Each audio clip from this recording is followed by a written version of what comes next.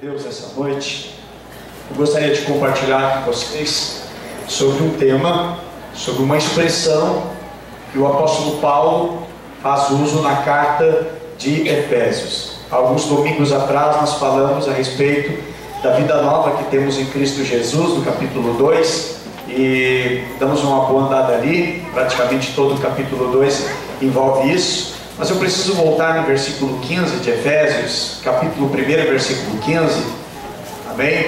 Na qual eu gostaria de compartilhar com vocês esta palavra, porque algo muito precioso existe nesse texto, uma riqueza para enriquecer a nossa vida espiritual, nós conseguir enxergar as coisas melhor, perceber melhor o mundo espiritual, amém? É, muitas coisas que nós enfrentamos e problemas, porque nos falta entendimento e nos falta visão das coisas, tá bom? Domingo passado nós falamos a respeito de um cego e ele sofria e padecia pela falta da sua visão, a visão física. E eu quero nesta noite falar sobre outro tipo de visão, amém? É, vamos abrir então Efésios 1, versículo 15, que diz assim: Por essa razão, desde que ouvi falar da fé de vocês, que vocês têm no Senhor Jesus e do amor com a qual demonstro para com os santos. Vou dar só uma pausa aqui para nós darmos sequência. Olha que o apóstolo Paulo, irmãos, ele começa falando e escrevendo para a igreja, para a edificação da igreja. Ele começa a, a dizer, por essa razão, desde que ouvi falar da fé de vocês, que me chama a atenção, irmãos, quando ele está dizendo assim, ah, desde que ouvi falar da fé de vocês. Aí a pergunta que fica para cada um de nós, do que, que as pessoas ouvem ao nosso respeito? Do que será que falam de você? Pergunta para a pessoa que está do céu, do que, que falam de você? Aí agora vem a outra pergunta, falam de bem ou de mal? Tomara que seja de bem. Vamos torcer para que seja coisa boa. Pare de falar mal da gente, né? Tem alguma virtude aqui, tem coisa boa também. Mas interessante que aos irmãos de Efésios, a igreja lá de Éfeso, Paulo está falando de bem. E ele está dizendo o seguinte: desde que eu ouvi falar do que? Dos problemas de vocês, a briga de vocês, do, é, do sangue que ferve em vocês, da explosão que vocês têm, né, dos nervos que vocês ficam é, tão preocupados e tensos. Não, ele diz, olha, desde que eu ouvi falar da fé de vocês. Aí uma outra pergunta também é: quem consegue falar da minha fé?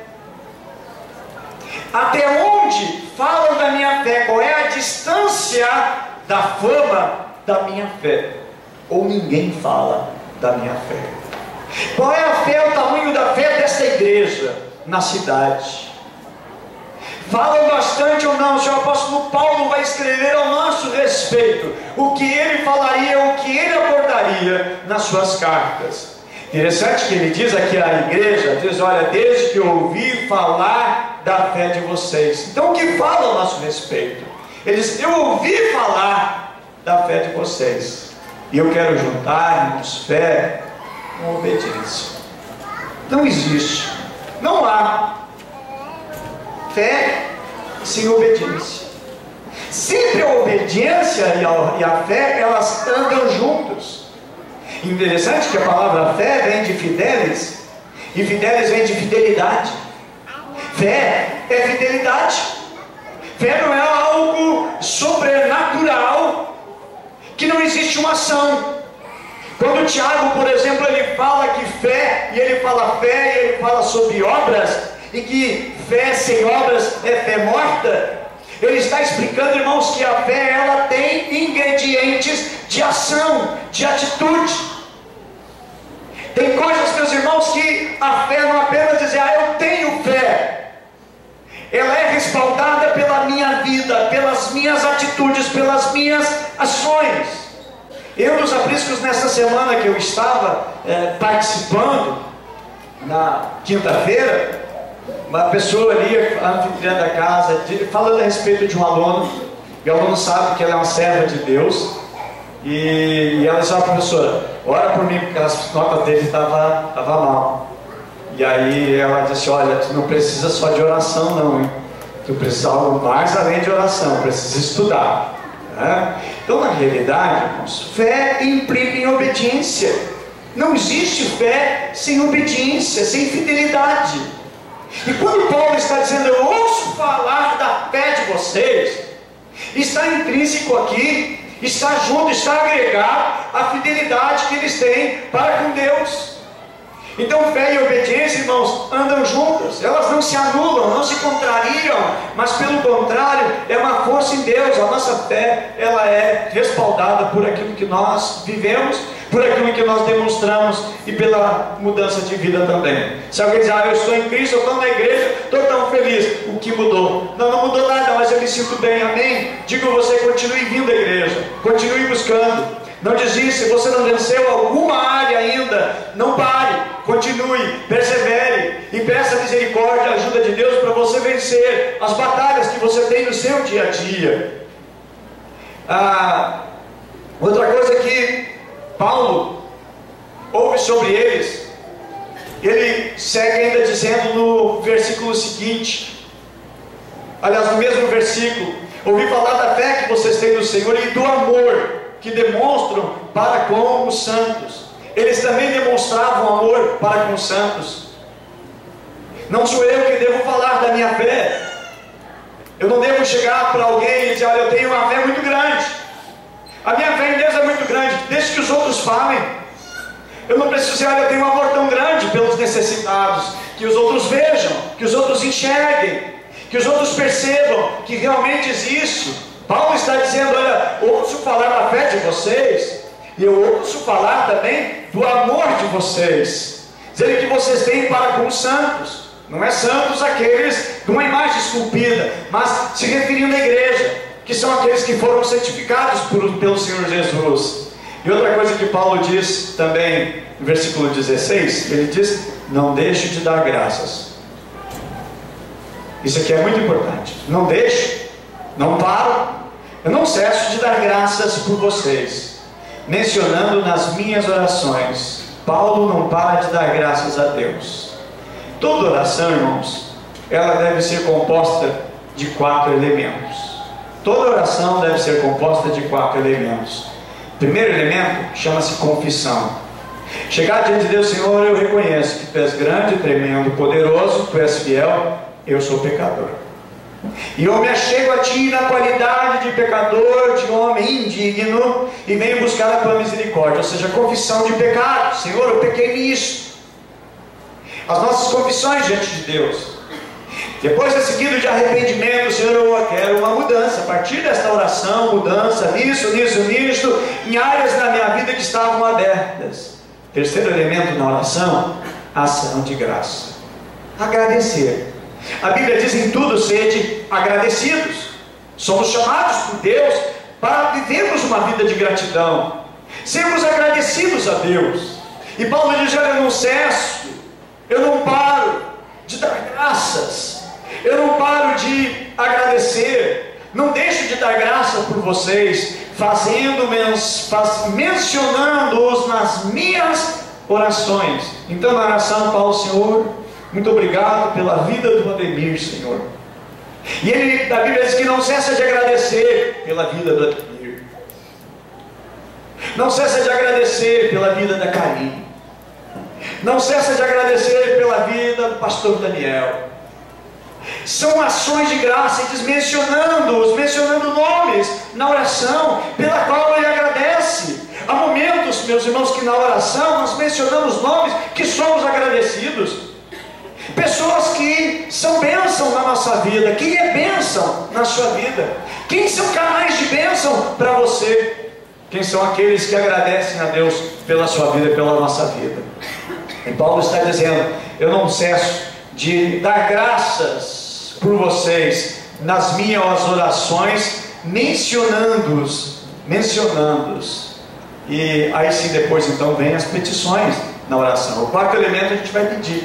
Interessante que na oração alguns já chegam direto, arrasando com tudo, já chega pedindo, Deus, eu quero isso, Deus, me abençoa naquilo, me abençoa naquele outro, mas nem sequer diante de Deus se reconhece como falho, como pecador, indigno de estar ali, nem sequer arrepende do que já fez.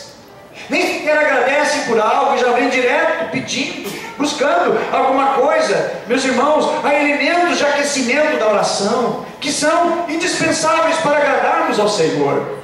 E Paulo ele usa dessa maneira e Paulo aqui nos ensina. Então, como orarmos? E aí ele vem pedindo, verso 17: Peço que o Deus de nosso Senhor Jesus Cristo, o glorioso Pai, lhes dê espírito de sabedoria, de revelação e pleno conhecimento dele. E ele pede essas coisas aqui, que peço que o Senhor lhes dê sabedoria, revelação e pleno conhecimento dele. São coisas que nós precisamos buscar. Muito mais do que materiais, muito mais do que resolver os nossos problemas. Porque aqui está a solução dos nossos problemas. Se nós tivermos revelação, se nós tivermos pleno conhecimento dele, se nós tivermos sabedoria, nossos problemas são, muitos deles já resolvidos. Agora, eu quero fixar nessa noite a mensagem. O texto que Deus incendiou meu coração e inflamou meu coração, que está no versículo 18, diz assim: Oro também, para que os olhos do coração de vocês sejam iluminados. Amém? Digam comigo: olhos do coração. Diga Deus, ilumina os olhos do meu coração. Quando, meus irmãos, nós não vemos o invisível, nós temos problema. Paulo não está falando dos olhos físicos. Paulo está falando dos olhos do coração.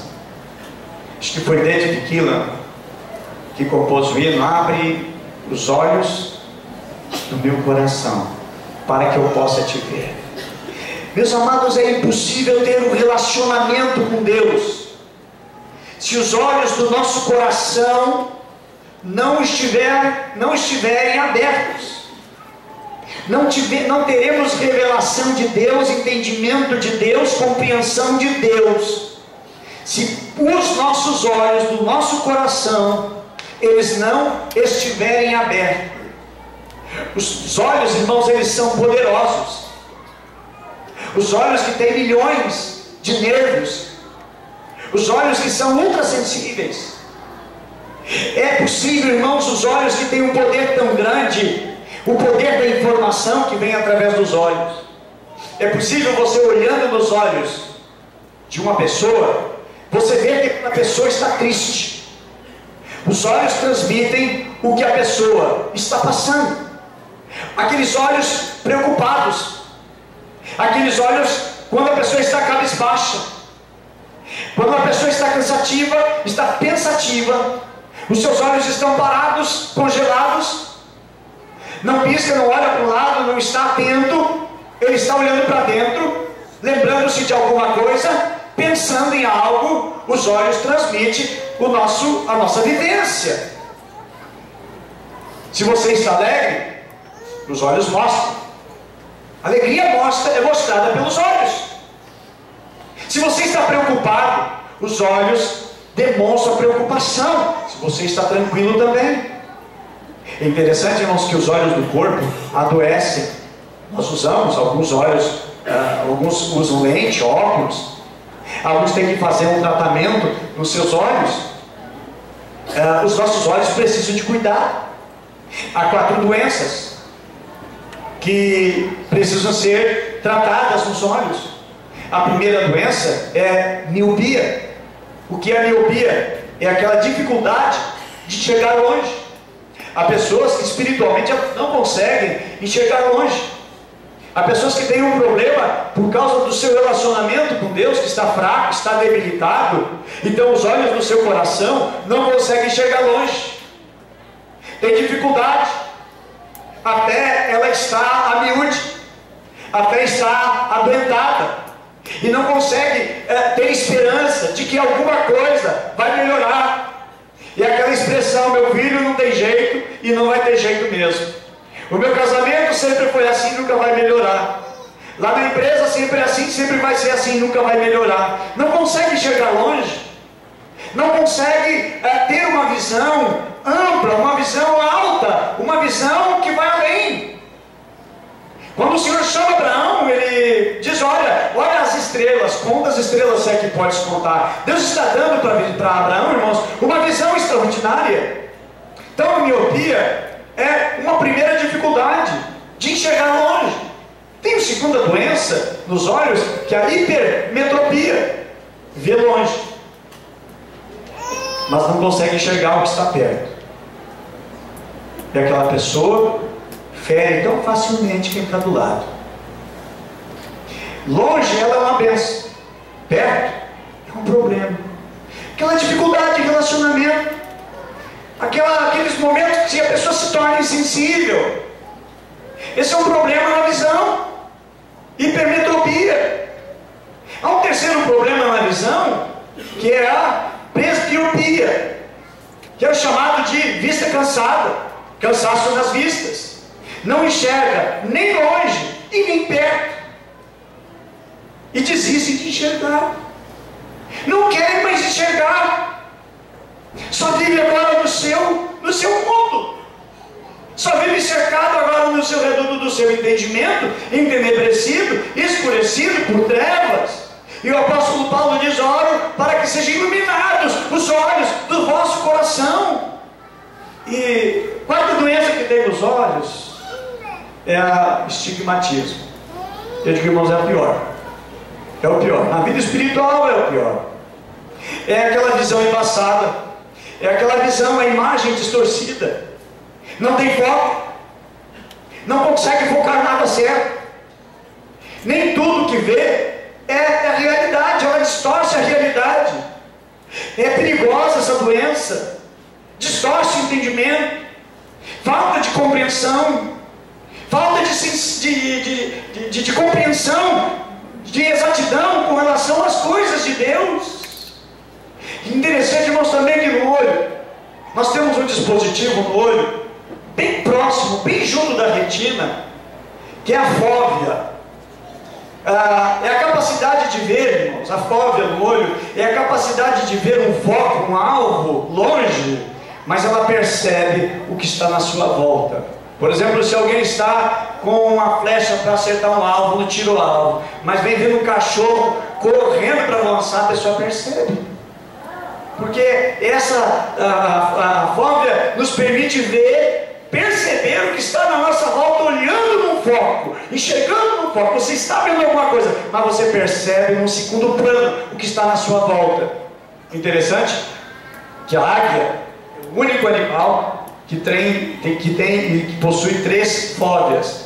Ela tem uma no centro, ela tem uma acima e ela tem uma abaixo. Se ela dá uma virada com a sua cabeça assim, ela tem a percepção de 365 graus. É, irmãos, quero dizer, é hora de ampliar a nossa visão. E o apóstolo Paulo está fazendo uma oração. Ele está fazendo oração, Senhor, abre os olhos do coração desse povo. E ele está escrevendo para a igreja. Ele não está escrevendo para pessoas que não estão na igreja. A sua carta é destinada para a igreja, para nós, é para mim, é para você, é para todos nós. São para os nossos líderes líderes dos apriscos, das redes, é para você que é anfitrião, é, é para você que participa, é assíduo, é para você que está com sede de Deus, é você que está chegando pela primeira vez. A palavra, irmãos, é escrita para nós, para nossa edificação. E Paulo, quando ele está dizendo isso, irmãos, Paulo ele, tá, ele pede quatro coisas nesse texto que nós lemos. Ele pede espírito de sabedoria. Porque quando nós não temos, nós sofremos, nós padecemos por falta de sabedoria. Ele pede também espírito de revelação, que é aquilo que não é possível saber com a mente humana. Nós somos limitados. E ele pede, ele pede também pleno conhecimento dele, porque o nosso conhecimento a respeito de Deus e das coisas espirituais não é amplo, ele é pequeno. Quanto mais vamos conhecendo, quanto mais vamos entendendo, melhor vai ficando, e melhor o nosso entendimento, e mais força nós temos, e mais graça de Deus nós possuímos. E ele faz a quarta, quarto pedido que nossos, os olhos do nosso coração sejam iluminados. E eu quero, passando sobre isso aqui, irmãos, e dizer que Paulo escreve com esse propósito, que é para que conheça a esperança da qual Deus nos chamou. Para que Deus me chamou? Ele diz assim, é para que conheçam. A esperança para a qual Deus nos chamou. A segunda coisa ele diz para, para que entendam e compreendam as riquezas da gloriosa herança dele nos santos. E a terceira ele diz a incomparável grandeza do seu poder para conosco. E eu digo, meus irmãos, por que sofremos? Por que passamos por males?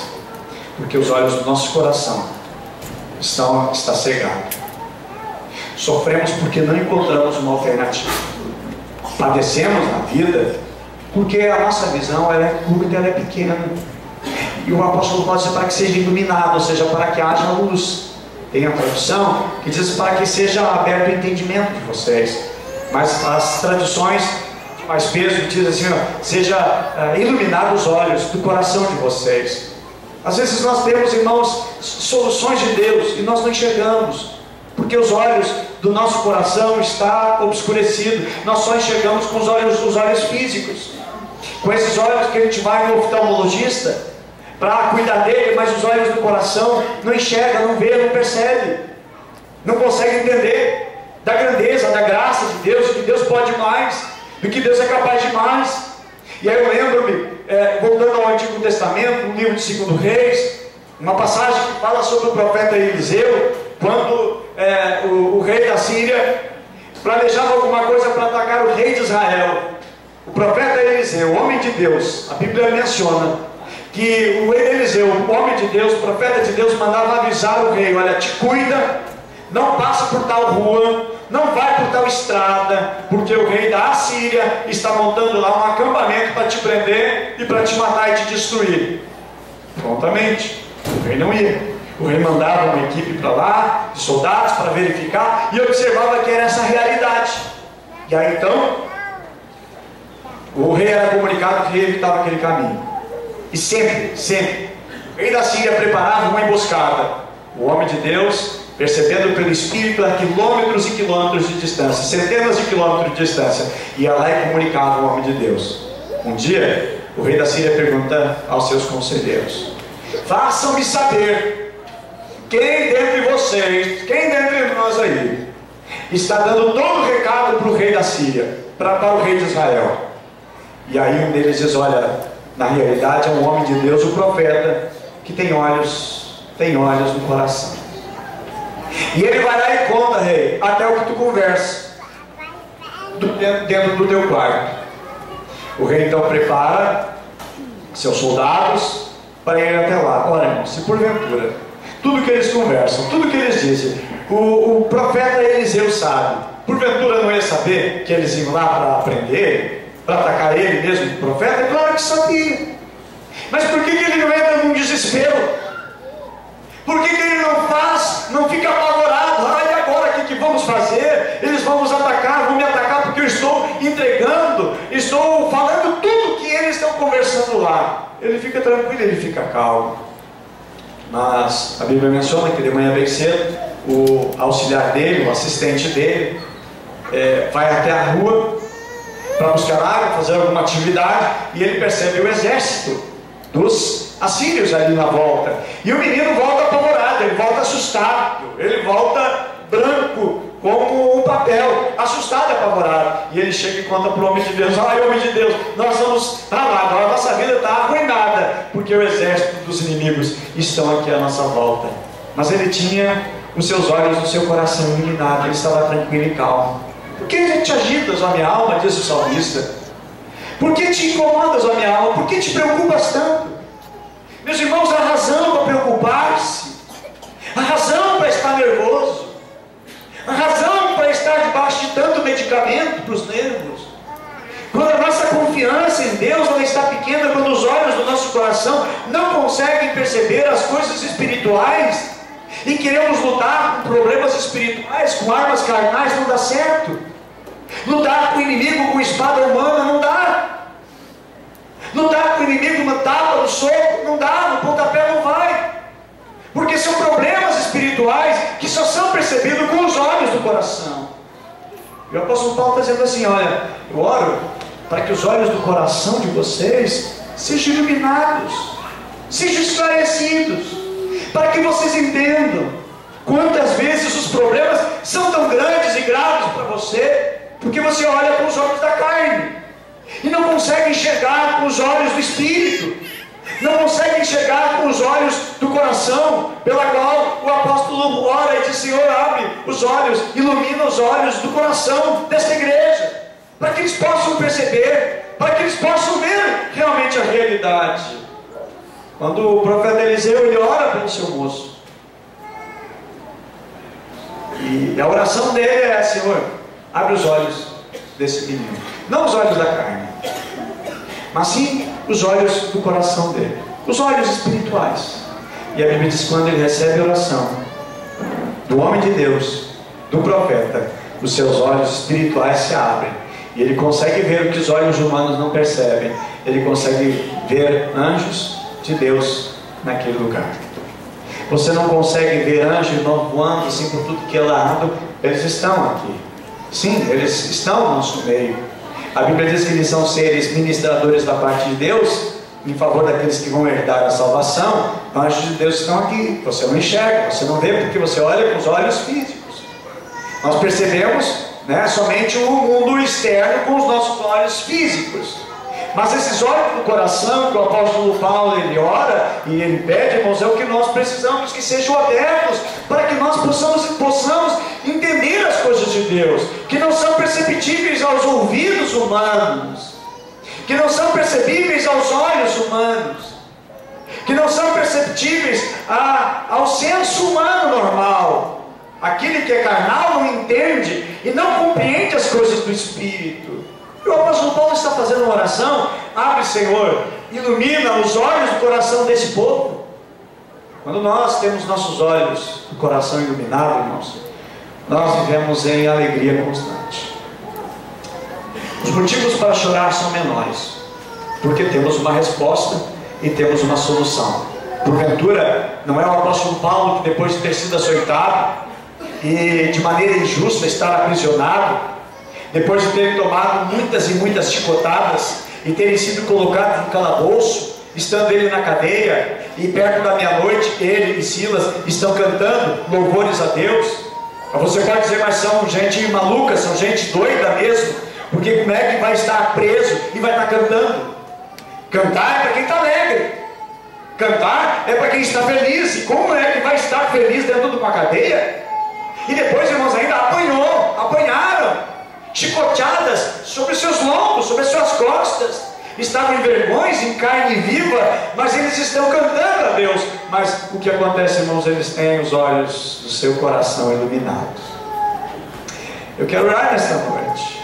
Que os olhos do nosso coração estejam iluminados para que possamos perceber e ver as coisas para que possamos ser sensíveis a Deus, ao Espírito Santo, de entender e de compreender as coisas profundas, as coisas profundas as riquezas, as riquezas de Deus para nós.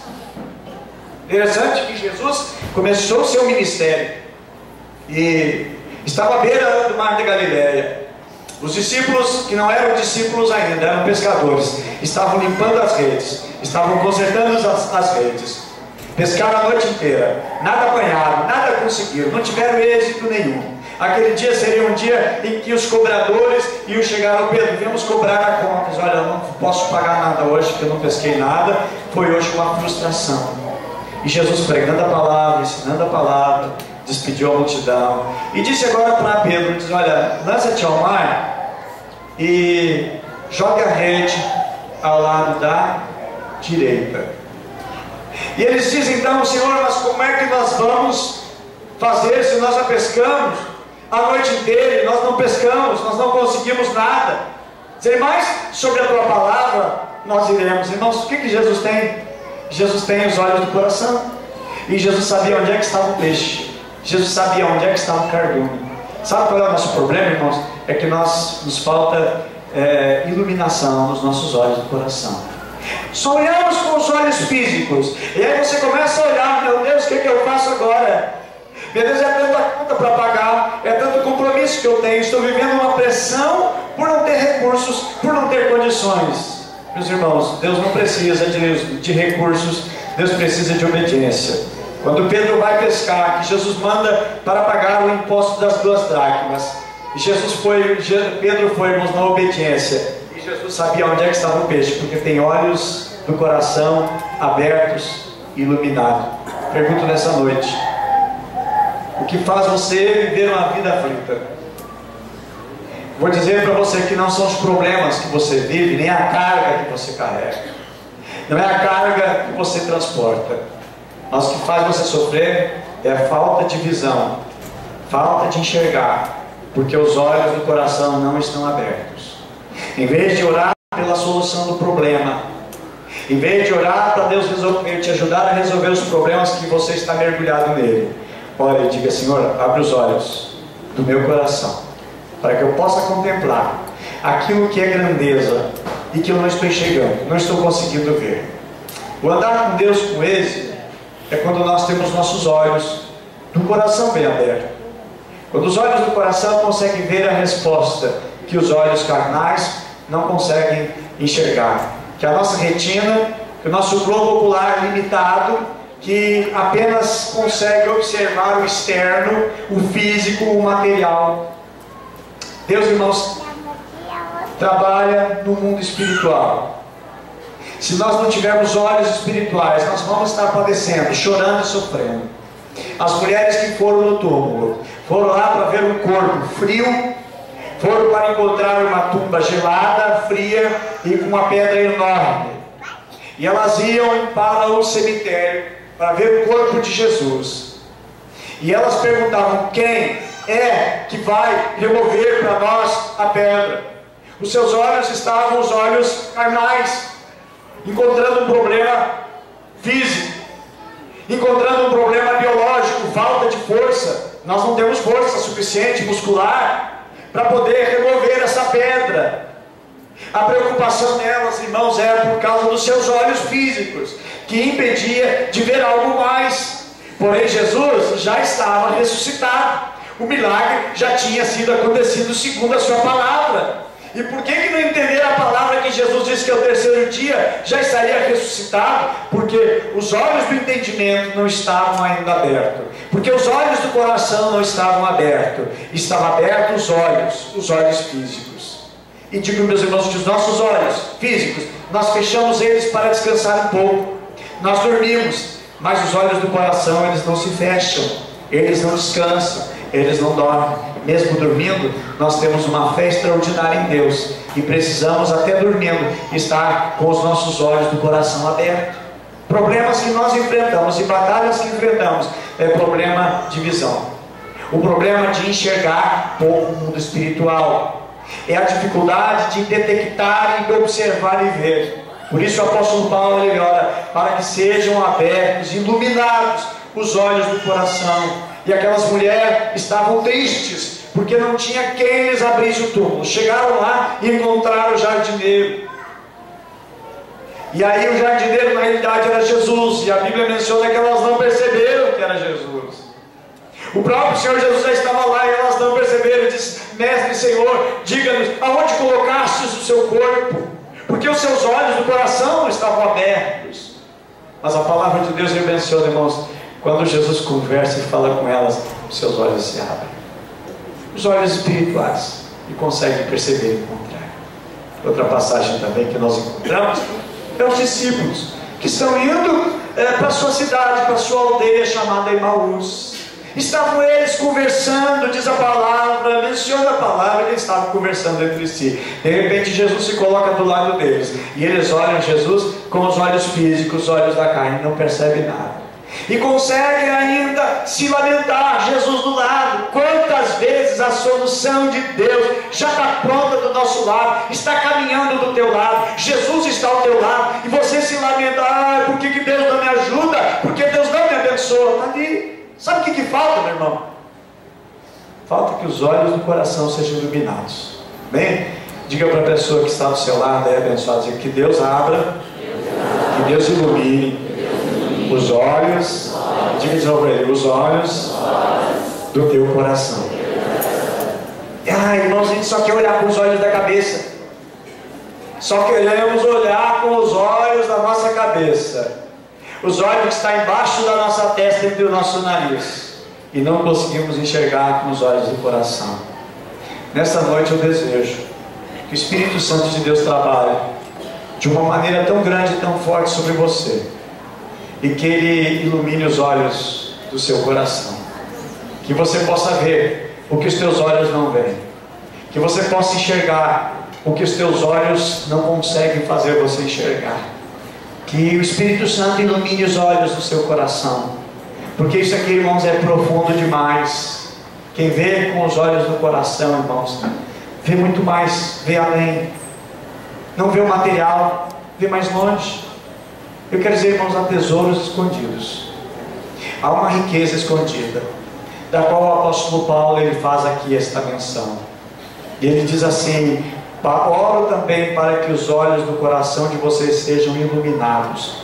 E aí diz assim: ó, a fim de que? A fim de que? Se você colocar dois pontos ali, você vai perceber o que ele está pedindo. A fim de que conheçam a esperança para a qual ele nos chamou. Deus nos chamou, irmãos, para sermos diferentes, para sermos um canal de bênção. Amém? Deus te chamou para ser uma bênção. Amém? Ele disse para Abraão que chamou Abraão: ser tu uma bênção. Ele nos chamou para sermos uma bênção. Amém? Diga para a pessoa que está do seu lado: Deus te chamou para ser uma bênção. Amém? E ele diz assim: ó, para que conheça a esperança para a qual ele nos chamou, as riquezas da gloriosa herança dos santos. Segunda coisa que precisamos enxergar, e a incomparável grandeza do seu poder para conosco. A grandeza do seu poder para conosco. O poder de Deus não está limitado. O poder de Deus é tão grande. Mas que se os nossos olhos do nosso coração não forem iluminados, nós não vamos perceber o poder de Deus para conosco. Então que Deus abençoe, que Deus abra o teu entendimento, que Ele trabalhe de uma maneira tão forte, tão preciosa.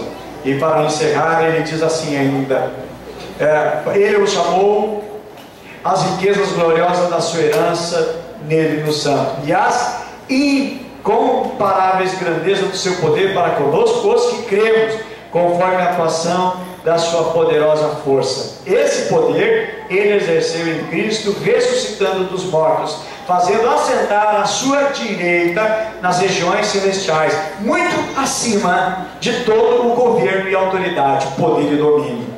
De todo nome que possa ser mencionado, não apenas nessa era, mas também na que há de vir. Deus o colocou todas as coisas debaixo dos seus pés, e os designou cabeça, e o designou cabeça de todas as coisas para a igreja, que é o seu corpo, a plenitude daquele que enche todas as coisas e em toda e qualquer circunstância, que enche todas as coisas em toda e qualquer circunstância.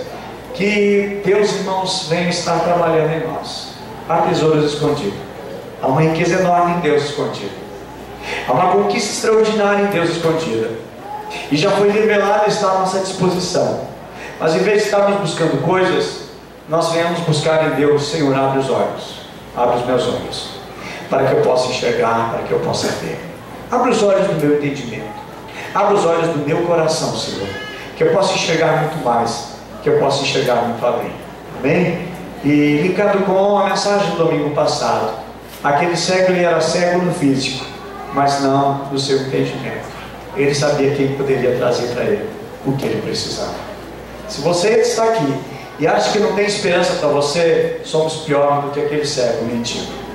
Mas cremos nele, que ele pode fazer infinitamente mais do que tudo que nós pedimos e pensamos. Os, nossos, os olhos do nosso coração estão abertos. Bem, quero convidá-los para nós ficarmos em pé.